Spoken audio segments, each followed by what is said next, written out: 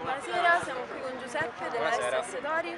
Allora Giuseppe, è stata una partita un po' Combattuta. equilibrata fino a un certo punto, nel senso che stavate pareggiando, poi siete andati in vantaggio, Esatto, in vantaggio, esatto. poi alla fine è andata... Ci siamo trovati il primo tempo piuttosto in difficoltà anche perché hanno- abbiamo trovato poco diciamo, gli automatismi tra di noi, però siamo riusciti poi a raddrizzare la situazione e abbiamo vinto. Alla fine è andata Esatto, bene. sì. Quindi speriamo che la prossima Sì, credo che la prossima così. partita sarà molto meglio anche perché iniziamo a conoscerci meglio tutti quanti.